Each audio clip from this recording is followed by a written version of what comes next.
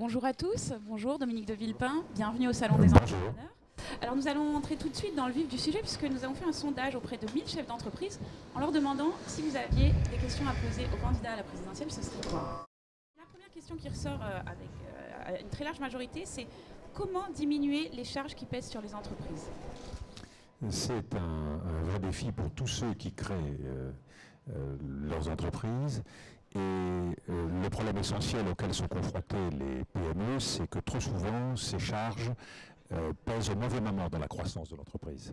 Et c'est pour ça que je pense qu'il faut privilégier l'accompagnement de l'entreprise, faire en sorte que dans la première phase de création de l'entreprise, ces charges puissent être moins nombreuses. Et puis, bien sûr, euh, pour la croissance de l'entreprise, faire en sorte que les charges qui pèsent sur les nouveaux salariés, et en particulier ceux recrutés en CDI, euh, puissent être plus faibles. Et c'est pour cela que je propose que euh, les exonérations euh, de charges, la défiscalisation des heures supplémentaires, soient entièrement reportées sur l'allègement de charges pour la création d'un nouvel emploi en CDI dans les PME. Alors, autre question, qui a été posée par les entrepreneurs, quelques problèmes de micro?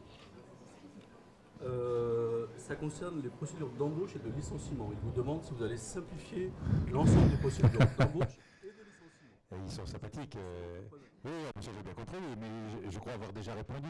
Ils ont déjà vu la réponse in vivo entre 2005 et 2007. Nous avons euh, beaucoup travaillé dans ce sens avec la création du contrat nouvelle embauche, qui a été un succès, puisque dans cette période, nous avons réussi à avoir 600 000 demandeurs d'emploi en moins. Et puis nous avons voulu pousser plus loin, euh, le gouvernement, en créant le contrat première embauche et la réponse, euh, vous la connaissez. Donc je crois que c'est un domaine où il faut agir avec beaucoup de prudence, avec les partenaires sociaux, sur la longue durée. Donc c'est vraiment une question euh, de début de quinquennat qui ne saurait être traitée qu'avec les partenaires sociaux, les PME et les chefs d'entreprise eux-mêmes. ce n'est pas un sujet où on peut annoncer des mesures à l'emporte-pièce tant on sait que la réponse, elle est forte, massive, même si euh, euh, les Français avancent dans la crise en tirant un certain nombre de leçons. Ils se rendent bien compte que sans souplesse supplémentaire sur le marché de l'emploi, eh bien les entreprises euh, n'embauchent pas. Combien de PME aujourd'hui hésitent à embaucher alors qu'elles auraient des marges de manœuvre, mais elles hésitent à le faire dans la durée parce que cela pourrait plomber leur trésorerie pour les années suivantes. Donc faisons en sorte que ce soit vraiment euh, par la concertation, par le dialogue social, que les choses puissent avancer. Mais on voit que l'Allemagne, elle, a réussi à inventer euh, des systèmes beaucoup plus souples que les nôtres, mais qui euh, aussi ont une contrepartie, c'est plus de précarité.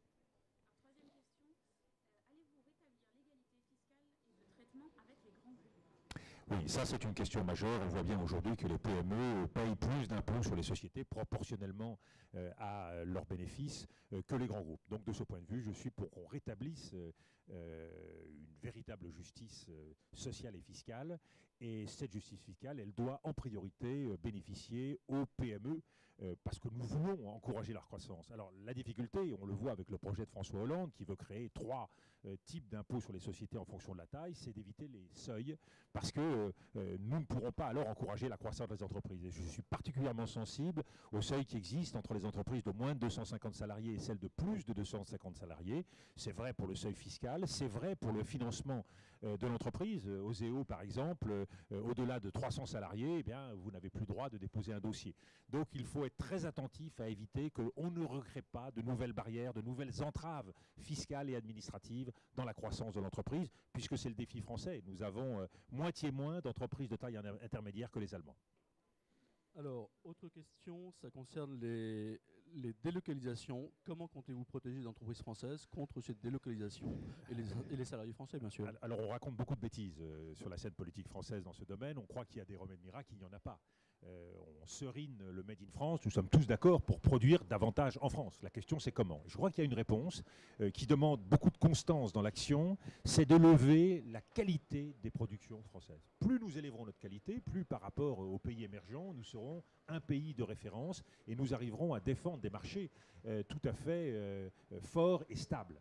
Donc faire en sorte de renforcer les pôles de compétitivité, d'intégrer les PME et les grandes entreprises dans des projets beaucoup plus ambitieux qu'aujourd'hui.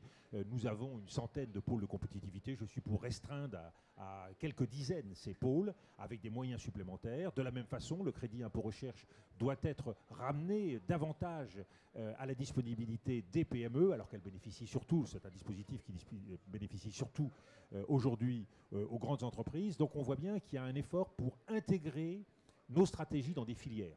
La question de le Jabier est intéressante. On peut effectivement à tout prix défendre des entreprises en difficulté, mais il vaut mieux défendre des secteurs qui ont euh, véritablement un avenir dans notre pays. Donc je suis pour que l'on choisisse avec l'ensemble des partenaires économiques, sociaux, les responsables politiques, les filières qui sont les filières d'avenir en France. C'est un travail qui n'a pas été fait avec les investissements d'avenir. Le résultat, c'est que nous avons aujourd'hui trop de secteurs que nous portons à bout de bras et qui, malheureusement, ont vocation à dépérir. Il y a un vrai choix stratégique une vraie planification de nos filières industrielles qui est indispensable si l'on veut gagner. Et l'une des conditions, c'est que ces filières soient exportatrices. On voit bien que l'Allemagne marque des points parce qu'elle est capable d'accompagner des marchés en croissance. Ce n'est malheureusement pas le cas de beaucoup de nos filières qui se rétrécissent et qui surtout ne sont pas présentes à l'exportation.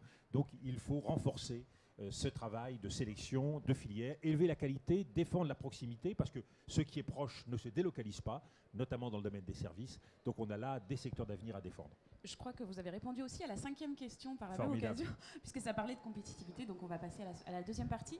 Au-delà de tout ce qu'on vient d'évoquer, quelles sont vos propositions concrètes pour les TPE-PME et pour les chefs d'entreprise qui nous écoutent alors d'abord, euh, ce qui me paraît essentiel, c'est de supprimer encore davantage la bureaucratie lors de la création de l'entreprise quand j'étais Premier ministre, on avait voulu inventer la formule euh, de la TPE créée en 24 heures. Force est de constater, puisque j'ai fait moi-même l'expérience de créer ma propre entreprise, euh, j'ai pu constater que ce n'était pas vrai.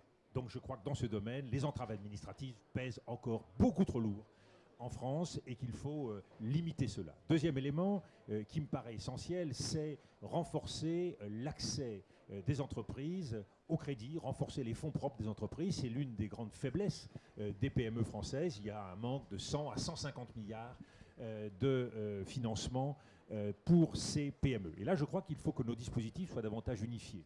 OSEO, le FSI, la Caisse des dépôts, tout cela doit être davantage regroupé et décentralisé. Et c'est pour cela que je propose que nous ayons uniquement huit grandes régions métropolitaines pour porter l'ambition française et renforcer la capacité pour ces PME d'avoir un vrai interlocuteur qui les accompagne dans leur développement et qui les accompagne euh, à euh, l'exportation.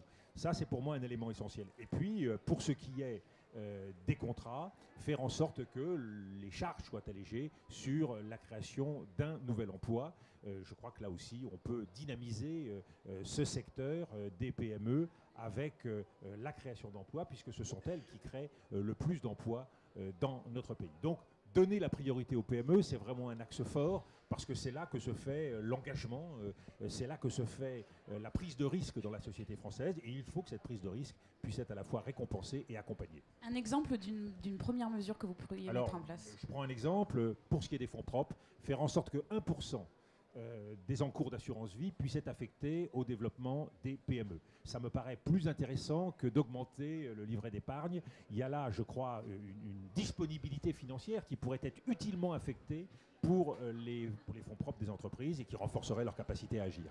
Alors plus globalement, si on revient sur votre programme, vous avez proposé notamment en avril dernier un revenu citoyen de 850 euros. Avec la crise, vous avez dit vouloir peut-être revoir un petit peu ce dispositif. Qu'en est-il aujourd'hui? Figure-t-il encore sur votre programme et avec quelle ampleur? Tout à fait. Je présenterai mon programme à la mi-février, mais je souhaite mettre en place un revenu citoyen. Le niveau en a été fixé à 850 euros. Il est évident, compte tenu des difficultés financières de la France, que nous ne pourrons mettre en place un tel revenu que de façon progressive, et en commençant par ceux qui sont le plus dans le besoin. Ce revenu citoyen, euh, il faut le souligner, ce n'est pas du tout un revenu d'assistance. C'est un revenu qui a une contrepartie, l'activité. Et mon point de départ, c'est de constater qu'il y a 4 millions de chômeurs en France, 8 millions de pauvres, des gens qui sont complètement en dehors euh, de la vie euh, de la communauté nationale. Donc les réintégrer, leur donner la possibilité par l'activité de se lever le matin et d'être reconnus comme citoyens, et en échange d'avoir une contrepartie financière. Alors une fois de plus, nous allons donner la priorité à ceux qui sont le plus en marge euh, dans la société française, ceux qui souffrent le plus. Je prends un exemple. Combien de personnes handicapées souhaitent travailler, avoir une activité dans notre pays et ne peuvent pas le faire en dépit euh, des obligations qui sont créées Les entreprises ne respectent pas ces obligations.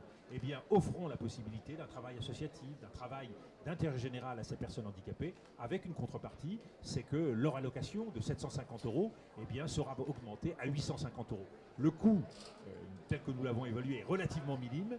Euh, ça vaut la peine. C'est un véritable enjeu de cohésion sociale que de pouvoir adresser un signal fort à euh, ces Françaises et ces Français qui souffrent dans leur chair. Alors, autre point fort de votre euh, programme, c'est la TVA 3E pour défendre l'environnement, l'emploi, l'exportation. Cette TVA est modulable, de même que d'ailleurs l'impôt sur les sociétés qui serait lui-même modulable, soumis à critères. La question, c'est est-ce que tout ça, c'est pas une usine à gaz et qui va à l'encontre d'une fiscalité moderne, simple et lisible? Alors, euh, c'est pas du tout une usine à gaz parce que euh, la fiscalité, c'est en soi une usine à gaz. Euh, et si l'on voulait faire simple. Là, vous en rajoutez quand même. Non, si l'on voulait faire simple, on aurait un seul impôt. Et cet impôt associerait euh, l'ensemble des différents éléments contributifs. On voit bien, ne serait-ce que pour la fusion de l'impôt sur le revenu et de la CSG, que c'est techniquement très compliqué. Donc là, il s'agit tout simplement, à partir de l'impôt, de créer une taxe qui permet cette modulation. Donc c'est pas, non, c'est assez simple, et croyez-moi, les gens de Bercy qui sont payés pour ça savent parfaitement faire ce genre de choses. Par contre, l'avantage, il est immense récompenser les entreprises qui créent de l'emploi, récompenser les entreprises qui sont vertueuses en matière d'environnement, récompenser les entreprises qui prennent le risque de l'exportation, croyez-moi, c'est un changement majeur pour les entreprises françaises. Je crois qu'il faut récompenser ceux qui travaillent bien et qu'il faut leur montrer le chemin. Et je parlais de filière tout à l'heure, je suis favorable à ce qu'il y ait des groupements encouragés de petites et moyennes entreprises, ces groupements doivent effectivement récompenser les entreprises qui se fédèrent, qui travaillent ensemble, parce qu'elles pèseront davantage sur le marché. Euh, euh, de l'emploi et davantage vers l'exportation. Donc je crois qu'il faut vraiment euh, que notre fiscalité aiguillonne, récompense les bonnes pratiques. C'est un signal fort que nous adressons à tous ceux qui produisent dans notre pays. Alors, les, Français sont victimes d'une crise de logement assez sévère. Vous proposez, plutôt une mesure de gauche, mais enfin, vous proposez un encadrement des loyers de manière plus générale. J'ai eu l'impression, en lisant les quelques éléments du programme qui sont disponibles, que vous vouliez aller vers une économie plus dirigée. C'est un peu le retour du Gosplan. Alors, vous n'avez pas très bien lu le, projet. J'ai essayé trop rapidement, trop rapidement, mais il y a beaucoup de choses qui sont disponibles. Euh, c'est un encadrement des loyers, vous avez raison, euh, pour euh, les locations. Euh, mais c'est un encadrement volontaire. Et ça, croyez-moi, c'est pas forcément de gauche. Donc moi, je suis soucieux de prendre ce qui est bon dans la gauche et ce qui est bon dans la droite. Engagement volontaire comment? Engagement contractuel avec euh, les propriétaires sur la base de garanties qui seraient apportées. Garantie en cas d'impayé, garantie d'accompagnement dans la durée. Là, il y a véritablement euh, une logique de responsabilité qui est dans l'intérêt du bailleur, du locataire et en même temps du propriétaire. Et très rapidement, c'est le retour du plan, c'est ça votre euh, projet? C'est le retour du souci de planification. Et c'est en ça que nous avons aujourd'hui une politique à courte vue. Regardez, le président de la République se précipite à la télévision pour annoncer des mesures pour demain matin, alors ça fait cinq ans qu'il gouverne. Je pense que tout ça gagnerait à être réfléchi et inscrit dans la durée. Donc, en matière euh, de planification. Je suis pour qu'il y ait un véritable conseil stratégique qui réunisse l'ensemble des acteurs euh, euh, dans le domaine économique, à la fois les responsables politiques, les responsables du Parlement, les responsables des entreprises, les responsables sociaux, et qu'on essaye de dégager une vision à long terme. Et pour ça, il y a deux outils, dont l'un aujourd'hui est de pure forme, le Conseil des ministres, mais c'est un outil de pure forme qui se réunit pour entériner des décisions. Il y a un deuxième outil que je crée, c'est le Conseil territorial, qui réunira comme le Conseil des ministres, le président de la République, le Premier ministre, mais aussi les présidents de région, les huit présidents de région, et qui fera dans la durée un travail de planification pour nos territoires, pour muscler nos territoires en Europe et dans la mondialisation. Et ce sera le mot de la fin. Dominique de Villepin, merci, merci beaucoup. Merci. Merci.